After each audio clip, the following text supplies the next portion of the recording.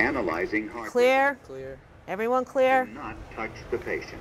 This 10th grade health class at the Pingry School in New Jersey is learning valuable life saving skills, from CPR to using a defibrillator.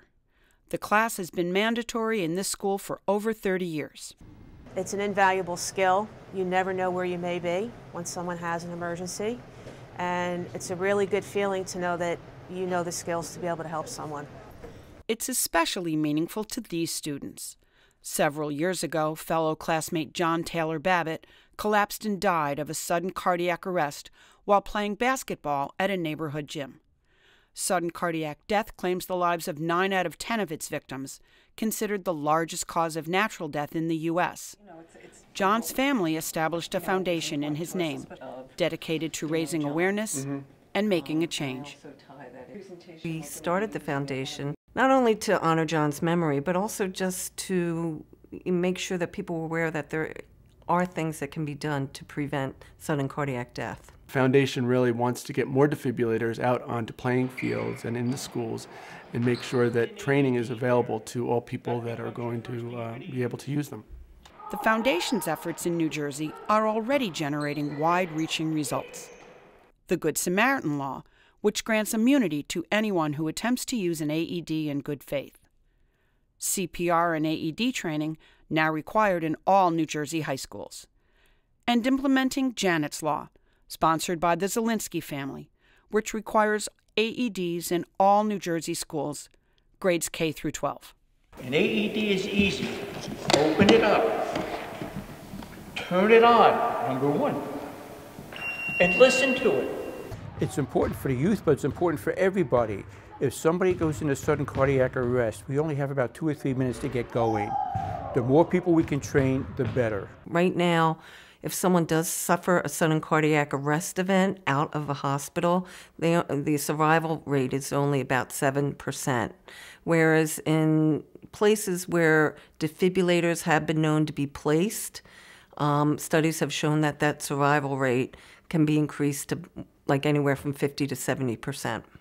The American Heart Association estimates as many as 50,000 deaths can be prevented annually with widespread training. Fast action and treatment can save lives. I was 13 weeks pregnant, and I went to school actually to tell everyone that I was pregnant. Uh, didn't get the chance, had no signs or symptoms, was talking to a colleague, went down on the gym floor, and thankfully there was an AED and someone who knew how to use it. I was called to the gym to respond to a teacher who had collapsed. She was on the floor and appeared to be having a seizure. So what I did was turned her to her left side, and that's when she turned blue. Immediately, I asked for the AED and we applied it, and it shocked her three times. At that point, we realized that she needed to go to the emergency room. We also realized that our actions then saved not only her life, but the life of her unborn child. As a phys ed teacher, I'm so incredibly thankful that the John Taylor Babbitt Foundation is working hard to get AEDs into schools and all places of public assembly because it's so important. You never know when you're going to need it, and it might just save a life or two. Now, each year, the Foundation sponsors Walk with Heart fundraisers on school and university campuses, organized by student ambassadors and Heart Club members, keeping youth front and center of the campaign. I just think that the youth are definitely a great way to, place to start because they're obviously the next generation, and um, if we get them on board, then eventually they'll, they'll get their parents, they'll get their kids, they'll get everyone that we should we want to get involved involved. So We really feel like our kids are prepared to go out into the community and help someone who's having a medical emergency. When you take this class, you learn what to do in every situation. So you're always prepared. And you never know. Sometimes in a situation, you will be the only one there. And in that case, it's a matter of life or death. And this year, a special honor.